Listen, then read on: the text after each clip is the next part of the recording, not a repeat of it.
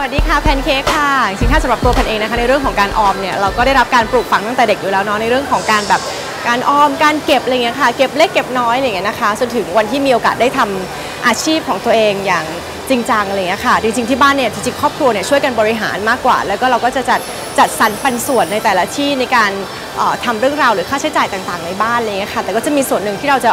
ออมหรือเราจะเก็บเอาไว้อะไรเงี้ยค่ะไว้เป็น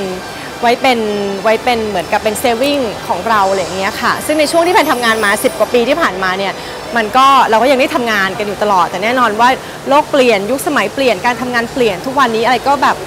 มันเร็วขึ้นมากๆอย่างเงี้ยค่ะ จับจ่ายใช้สอยหรือการจ่ายเงินก็ยังเร็ว การได้เงินมาก็ยังเร็ว เพราะฉะนั้นเนี่ยเหมือนเราเองก็ต้องปรับตัวกับกับโลกที่มันเปลี่ยนไปอะไรเงี้ยค่ะ ทุกวันนี้เนี่ยจริงมันอาจจะไม่ได้แบบ เป็นก้อนเป็นกอบเป็นกำเหมือนอย่างในสมัยก่อนที่เราที่เราทำงานหรือชิ้นงานต่างๆเนี่ยมันก็จะเปลี่ยนไปอะไรเงี้ยนะคะ เพราะฉะนั้นในเรื่องของการเงินหรือระบบต่างๆเนี่ยเราก็ต้องมีการ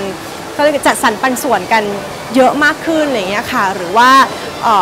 การใช้จ่ายต่างๆ เราก็ต้องมีการปรับ ปรับกลยุทธ์ในบ้านกันนิดนึงเลยนะคะว่าเราจะบริหารกันยังไง แต่ว่าการซื้อแบบอย่างสลากออมสินหรืออะไรต่างๆเนี่ยก็ยังคงมีอยู่เหมือนเดิม แล้วก็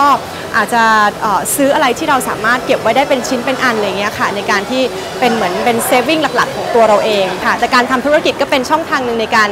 ในการฉีกแนวและการเรียกว่าเหมือนการเก็บเงินของเราเองเหมือนกันอะไรเงี้ยค่ะ คือทำอะไรที่เป็นของเราเองเป็นตัวเราเอง มันก็มันก็จะได้อะไรมาที่ ที่ไม่ไม่ได้เรียกว่าง่าย แต่ว่าก็ใช้ความพยายามใช่ไหมแต่ก็ควรจะทางคนละทางกับทางของการแสดงอะไรเงี้ยนะคะ ก็เป็นอีกช่องทางหนึ่งในการในการเอ่อเหมือนทำงานหาเงินของเราด้วยค่ะเออจริงๆแพนก็อาจจะแบ่งเงินในบางส่วนที่เราในบัตเจตในบางอย่างที่เรามีอยู่ตอนนี้ค่ะ มาคิดว่าเออในการลองทำธุรกิจดูอาจจะเป็นก้อนเล็กก้อนใหญ่ก็ว่าไปอะไรเงี้ยค่ะลงทุนดูกับกับสิ่งที่เราจะทำเพื่อให้ได้ต่อยอดออกไปอะไรเงี้ยนะคะ และอย่างหนึ่งแพนก็คิดเสมอว่าเราอยากทำอะไรที่มันยั่งยืน ไม่ใช่แค่ทำอะไรที่มันฉาบฉวย หรือว่าตามกระแสหรืออะไรพอทำมาแล้วหายไปอะไรเงี้ยค่ะเหมือนหลาย ๆ ธุรกิจที่เราได้เห็นอะไรเงี้ยแต่แพนก็รู้สึกว่าเอ้ยทำอะไรดีที่เราจะรู้สึกว่ามันมันสามารถอยู่ได้จริง ๆ แล้วก็มันอาจจะไม่ได้กำไรเยอะมาก แต่ว่าในระยะยาวเนี่ยมันยังคงสามารถที่จะอยู่อยู่อยู่ในอยู่ในสังคมได้อย่างเรื่อยๆอะไรเงี้ยค่ะ อย่างหนึ่งคือแพนว่าธุรกิจที่เราเลือกเนี่ยก็คือสิ่งที่ คนต้องมีคนคนได้ใช้หรืออย่างโอเคตุ๊กตาหมี Teddy House อะไรเงี้ยค่ะคือสิ่งที่แพนว่ามัน forever สำหรับทุกทุกทุกรุ่นทุกวัยอยู่แล้ว แล้วมันก็เป็นอะไรที่ไม่แพนไม่ได้ว่ามันฉาบฉวย แต่มันยังคงอยู่ในในในเรียกว่าในสังคมของเราได้ในครอบครัวของเราได้ตลอดอะไรเงี้ยค่ะ ซึ่งตอนนี้มันก็ดีขึ้น แล้วก็มีการขยับขยายมากขึ้น มีบางช่วงเหมือนกันที่ที่ค่อนข้างแย่มากเลย เพราะว่าอ่าด้วยเศรษฐกิจในสังคมบ้านเราต่างๆ มีการปิดต้องปิดร้านปิดเมืองปิดอะไรอย่างเงี้ยค่ะมันเลยทำให้มันก็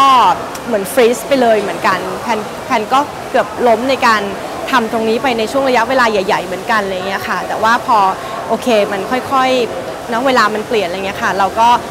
แต่ก่อนมีหน้าร้านเดี๋ยวนี้ไม่มีแล้วค่ะ เพราะว่ามันมันค่อนข้างยากเราก็จะมามีเป็นช่วงของออนไลน์ แล้วก็ขยับขยายไปต่างประเทศหลาย ๆ ประเทศที่เขาก็ยังให้ความสนใจแล้วก็มีหน้าร้าน แล้วก็ยังมีกำลังในการซื้อมากขึ้นอะไรอย่างเงี้ยค่ะก็เลยคิดว่าเออนี่ก็เป็นช่องทางหนึ่งที่การทำธุรกิจก็เป็นอย่างหนึ่งที่เราสามารถที่จะ manage เอ่อเงินของเราได้อะไรเงี้ยค่ะ แล้วก็มารอบคอบในเรื่องการใช้จ่ายต่างๆ มากขึ้น หรือว่ายุคที่เราต้องคำนึงถึงสภาพแวดล้อมมากขึ้นเนี่ย การใช้จ่ายระบบอะไรต่างๆเนี่ยมันก็เหมือนกับคือต้องคำนึงให้มัน balance กันให้หมดอะไรเงี้ยค่ะ